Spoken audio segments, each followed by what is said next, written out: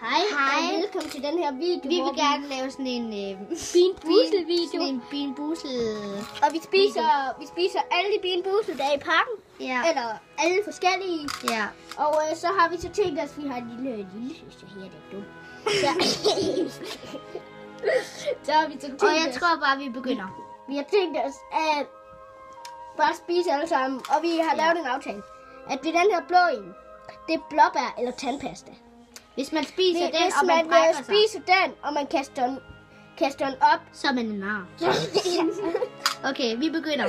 Vi starter med den her tandpasta eller blåbær. Okay, hvem, hvem starter? Eller skal vi gøre vi det samtidig? 1, 2, 3, nu. Tandbørste. Ja, det var god. Og det her er nyslået, nyslået. nyslået græs eller lime. Okay. Den, der lige må spise. Ja.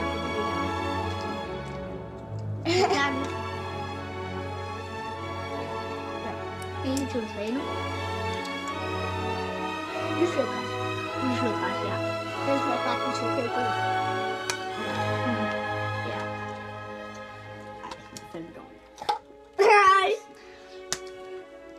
Våde servietter eller kokos? Ikke til pinden. Jeg tror, jeg har fået kokos. Våde servietter. Den er ikke så slem.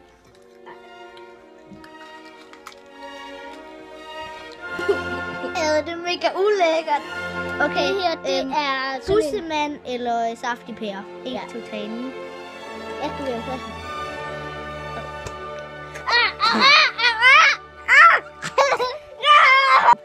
Hundemad eller På chokoladepudding? Hundemad på dåse eller, Eller- chokoladepudding. Ja, 1, 2, 3, nu.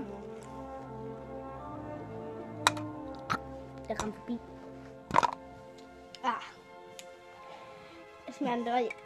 det smager mega ulækkert. Hej hej, og det var alt det for øhm, den video. Øhm, håber, Vi- I vil give et like. Og øh, vi laver også en ny video, hvor vi tager alle de andre. Jeg ved ikke, om vi deler den op. Jeg ved ikke, om vi gør sådan, så vi laver to videoer mere, eller bare en video, hvor vi tager rigtig mange. Det finder vi ud af. Og den kommer senere. En eller anden anden dag. Hej hej! Hej hej.